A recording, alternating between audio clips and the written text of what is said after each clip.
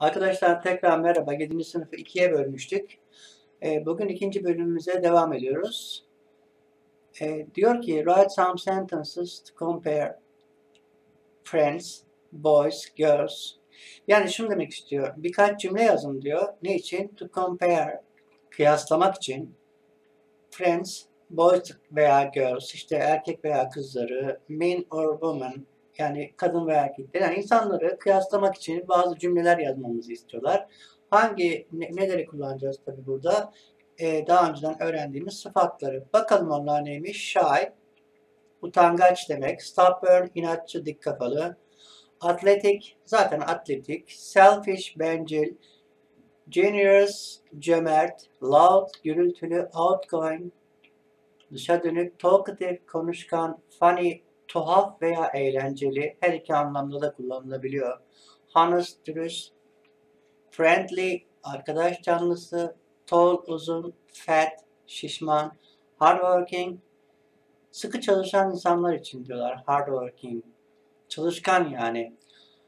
Demiş ki cümlede I think men are stronger than women. Bence demiş erkekler kadınlardan daha güçlüdür. Burada daha önceden de görmüş olduğunuzu bildiğim için e, sıfatlarda şöyle söyleyeyim. Strong güçlü demek. Stronger dediğiniz zaman yani sonuna E ve R ekli getirerek yani I ve R harfleri kullanarak e, onu daha güçlü hale getiriyorsunuz. Daha sonra isterseniz daha güçlü ve diğer şeyler konusunda e, eğer istekte bulunursanız bu konuyu da tekrar işleriz. Yani kısacası kadınlarla erkekleri kıyaslamış, erkeklerin daha güçlü olduğunu strong e, sıfatına E ve R harfleri getirerek, ek getirerek stronger than woman sözcüğünü elde etmiş. Mary is more outgoing than Deborah. Mary, Deborah'dan daha dışa dönük. Girls are more talkative than boys. Kızlar erkeklere göre daha konuşkandır. Burada yine belki daha önce mutlaka görmüş olduğunuzu bildiğim için ama yine de değinmek istiyorum. Outgoing dışa dönük. Niye burada ER2 gelmiyor da başına mor geliyor? Bunu daha önceden e, ders çeşitli derste gördüğünüz için şimdilik geçiyorum. Bu konuda istekleriniz olursa dönerim. Şimdi bir e, başkanın ne gibi karakteristik özelliklere sahip olduğunu işleyen bir diyalog var aşağıda. Bir aday belirlemişler ve Sem'in adayının kim olduğunu bizden tahmin etmemizi, bilmemizi istiyorlar.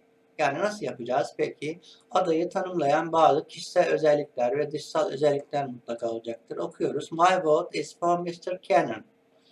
Benim oyum Mr. Cannon için diyor bayan. For the head of neighborhood.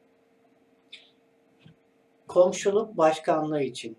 Apartman yöneticiliği için de olabilir bu an, o anlamda. Sam adama sesleniyor. He is very clever. Gerekçesi de şuymuş. O çok zeki ve akıllıdır diyor.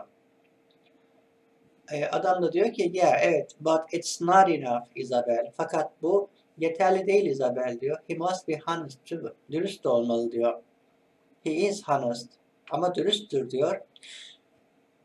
How do you know? Nasıl, nereden biliyorsun diyor. Because he never tells lies. Çünkü o asla yalan söylemez. He always tells the truth. O her zaman gerçeği söyler. He is more sincere than the other candidates. O diğer adaylardan çok daha içten. I think he is more thoughtful too. Aynı, bence o aynı zamanda çok düşüncelidir de diyor kadın. Um, I am sure, I'm not sure about it diyor adam. O konuda emin değilim diyor. My candidate is Mr. Castle. Mrs. Castle. Benim adayım Mrs. Castle'dır diyor. Why diye soruyor kadın. Adam cevap veriyor. Because çünkü she is more outgoing than Mr. Cannon. O Mr. Cannon'a göre çok daha dışa dönük. She is always with people. Her zaman insanların arasında. insanlarla birlikte. In the neighborhood. Komşuluk ilişkilerinde. And she has very nice idea for traffic. Onun trafik hakkında da çok hoş fikirleri varmış. Parks, parklar, shopping areas, alışveriş merkezleri. alanları veya alanları, alışveriş alanları, meetings, e, buluşma yerleriyle ilgili çeşitli e, fikirleri varmış. Complete the sentences, cümleleri doldurmak istersek nasıl oluyor? Burada clever olan kim? He is very clever diyor. Kimden bahsediyordu? Mr. Cannon'dan. Dolayısıyla Mr. Cannon is clever diyoruz. Always tells the truth. Yine her zaman gerçeği söyleyen kişinin Mr. Cannon olduğunu biliyoruz. Mr. Cannon always tells the truth. Um, peki has nice ideas. Burada iyi fikirlere sahip olan kimdi? Tabii ki erkek erkek e, görselindeki adamın e, kendi adayı kimmiş bu? Mrs. Castle. Dolayısıyla Mrs. Castle has nice ideas for the neighborhood diyoruz. Aşağıda üç kişiyi kıyaslıyor. Roy, Carla, Dave. Bunlar üç arkadaşlarmış. Bakıyoruz. Özelliklerini yazmışlar. Short, kısa, well built, yapılı, practices a lot. Çünkü çok fazla pratik yapıyormuş. Hardworking, çalışkanmış. Funny, eğlenceliymiş. Honest, dürüstmüş. Carla ise slim, ince, clever, akıllı, thoughtful, düşünceli. Neden? Helps everyone. Herkese yardım eder. O yüzdenmiş. Singer, school band. Okul orkestrasında şarkıcılık yapıyormuş. Dave, bakıyoruz. Tall, uzun, lazy, tembel, outgoing, dışa dönük. Basketball, basketbol oynuyormuş. Plays well, bir e, ifade var. İyi oynar. Easy going, e, dışa dönük e, anlamında geliyor. Easy going. Roy is my candidate. Roy benim adayım diyor. He has got short fair hair. Onun kısa parlak saçı varmış. His eyes are hazel. Onun gözleri eladır. He's short. O kısadır but well built. Fakat iri yapıldır. He practices often in the gym. Sık sık jimnastik salonunda pratik yaparmış. He is more hardworking. O daha çalışkanmış and more honest ve daha dürüstmüş than the other candidates ve diğer adaylara göre. I like him. Onu beğeniyorum çünkü because he's funny. Çünkü o eğlencelidir.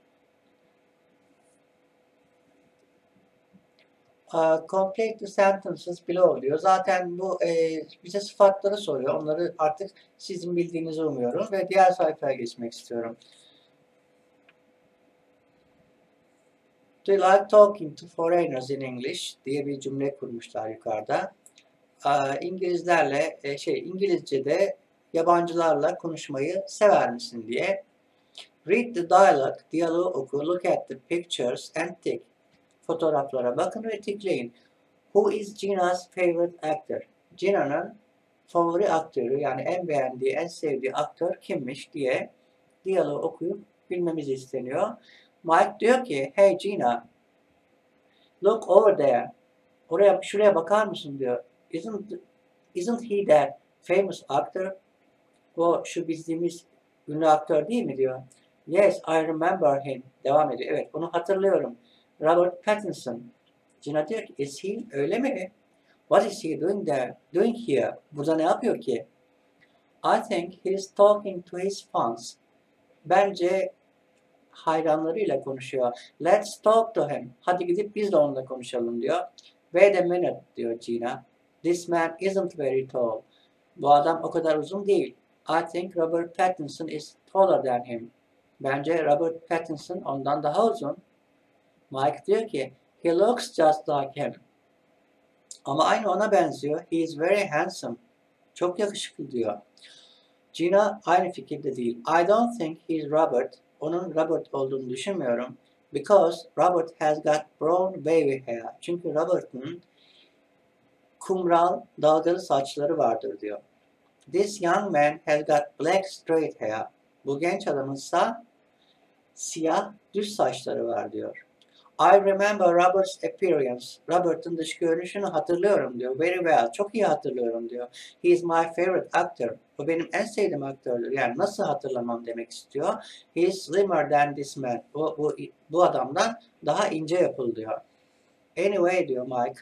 Her neyse diyor. Let's talk to him. Hadi gidip onunla konuşalım and ask his name. Ve ona adını soralım. Okay, yes, evet, tamam diyor. Let's, hadi diyor öyleyse.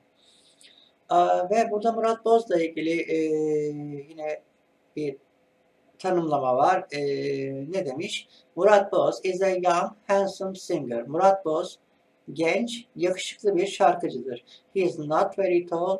O çok uzun boylu değildir. He is of medium height. O orta boyludur. He is slim. Ve o incedir. He is kind and lovely. O kibar ve naziktir, hoştur. Most young people, çoğu genç insan like him, onu beğenir. Because he sings and dances very well. Çünkü o çok iyi şarkı söyler ve çok iyi dans eder. Ee, Aşağıda ne yazıyor? Bakalım. Read the sentences and give points to yourself between 0 and 5. Ee, Bu, burada yani kişisel bir şey. İşte 1, 0 ile 5 arasında bir puan vermemizi istiyorlar bizden. At the end of this unit. Ha evet bu ünite bitiyor galiba. Ünitenin bittikten sonra kendinizi e, kıyaslamanız için aşağıdaki puanları vermeniz isteniyor. Burada dürüst olun arkadaşlar. Yani e, kendinizi nasıl görüyorsanız, çok iyi görüyorsanız ancak 5 verin ama gerçekten çok da iyi görmüyorsanız ve eksikleriniz varsa e, bakalım neler istemişler bizden. Describe characters and people. Karakterleri ya da kişilikleri tanımlayabilirim. Ve insanları ve karakterleri tanımlayabilirim demiş. Bunu yapabiliyorsanız, çok iyi yapabiliyorsanız 5 verin. Give explanations and reasons. Açıklamalar yapabilirim ve gerekçeler gösterebilirim diyor. Artık bu konuda nasıl olup olmadığınıza siz kendiniz karar vereceksiniz. Mesela make simple compa- comparisons. Basit karşılaştırmalar yapabilirim. Yapabiliyorsanız ona göre 0 ile 5 puan arasında puan vereceksiniz. Make simple inquiries. Ve eee, basit bir saniye inquiries sözlükten bakmam gerekiyor. Ee, Daha sonra e, buna tekrardan geldiğimizde inquiries'in veya siz de sözlükten bakabilirsiniz. Yani basit e, şeyler kurabildiğinden bahsediyor anladığım kadarıyla.